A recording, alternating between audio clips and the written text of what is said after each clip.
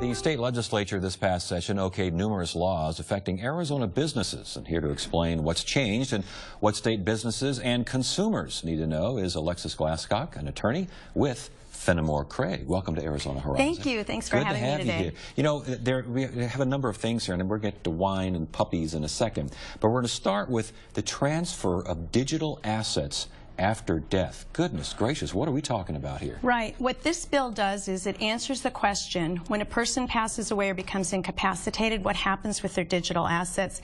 And as the digital world matures, uh, more and more people are storing things on either their hard drive or through an internet provider, they're uploading it to the um, to the cloud. So, for example, um, people's most important possessions, their photos, their videos, or their business documents, are stored on their hard drive. Um, similarly, a lot of people are creating digital wallets where they store their credit cards, their frequent flyer miles, their bank statements. All of these things are frequently password protected and can only be obtained via their computer, their iPhone, their iPad, wherever they've stored these documents.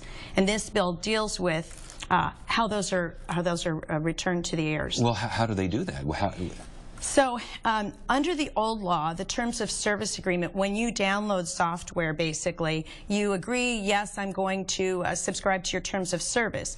And those terms of service agreements would actually supersede a will or a trust if the Mm-hmm. person had one. But under the new law, there's a three-tier system. So some, um, some providers like Facebook, some vendors, have an online tool. And with that online tool, you can go into that, edit your profile, and say who's going to receive your digital assets if you became incapacitated or deceased. If that exists, then that supersedes everything. In the absence of that, you would have a trust or estate that says which heirs would get your documents and what types of communications they could get.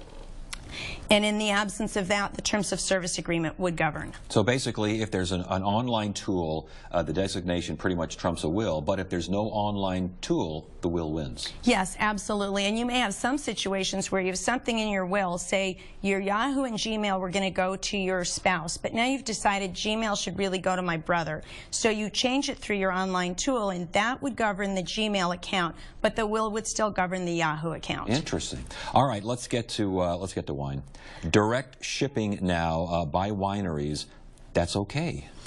So, um, you know that unique bottle of red that you and your wife might love that you get in Oregon and um, hard to get in Arizona? Well, this bill deals with that exact situation. It allows the consumer to buy um, cases of wine out of state and have them shipped directly to their home.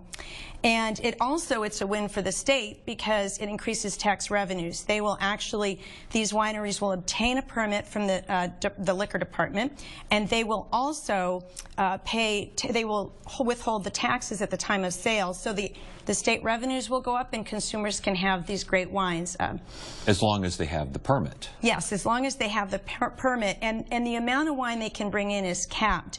Uh, the first, it begins in January of 2017, and people can bring in that first year up to um, six cases of wine. Then it increases the next year to nine, and then the third year to 12, and it's capped at 12. Interesting. And uh, I noticed in researching this, we're ranked 14th in the country in wine consumption. Exactly. So this could be a boon to this state as people now can get that very special wine that they love. All right. Uh, from wine, we go to puppies. Municipalities can no longer ban puppy mills. What does this really mean? Right. So a lot of people um, like to purchase pets through um, through pet shops, and what this law provides is a way to assure that pets are placed in homes, and they've either purchased the pet shops have purchased these or have obtained these pets either through uh, rescue shelters or through breeders who are USDA approved. So the objective of this bill is to prohibit the puppy mill, the, the pet shops from um, unintentionally uh, selling puppies that were not in USDA approved conditions. So how do you enforce something like that, though? How do you know it's USDA conditions? Well, through this law, when you go to buy your puppy, you'll be able to, um, or your cat, whatever you purchase, there will be, uh, at the time of purchase, a website, the USDA website, so you can verify that the information they're giving you is correct, that those animals actually came from um, reputable breeders who have um, complied with these, and in the event extent that a pet shop doesn't comply, there's teeth in this bill. Yeah. They either get a fine, they get fined uh, if there's a violation, and then they can even have their license taken away and they won't be able to sell pets. But we should mention that shops don't have to sell rescue or shelter pets exclusively now No. because of this. So you No. can go to reputable, they just have to have that USDA certification. Absolutely, and, and, and the consumer now has the choice um, to, to purchase from either. And there were some municipalities that had different regulations, and this creates a uniform system for the whole state so that you can verify what kind of animal if you're buying it from a breeder. Last one here, quickly, drones. I guess, can, wait, can you just go photo anything you want from the sky, your, your neighbor, anything you want? I mean, what's going on? Well, um, the, the great thing about this law is it tells the, the nation that Arizona is open and ready for business. So from a business standpoint, it's terrific. Uh, from a privacy standpoint, it doesn't change anything. Uh, there have always been privacy laws and trespass laws in place, and what those laws do is define where you can and can't go. But it's a well-established um, laws that you, you can, you don't have an expectation of privacy in your front yard or your backyard. So if your neighbor wants to look down from his second story or climb on his ladder and look over or fly a drone now, he's able to do that. But that's different from being able to look into the house, photograph things in the house.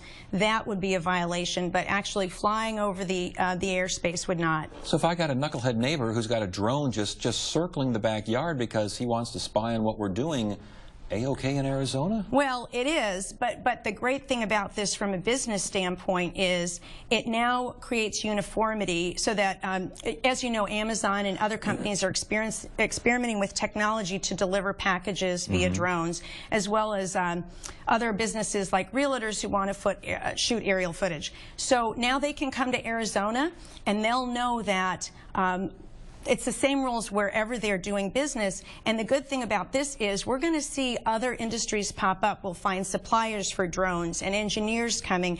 And it should lead to a whole, um, you know, all kinds of new needs in the business community um, for, you know, from my industry, from increased um, IP work, increased business formation, and, um, you know, increased compliance with regulations. So for a firm like Fennemore Craig, this is, this could be a really terrific thing as well as for other firms that will support this new technology.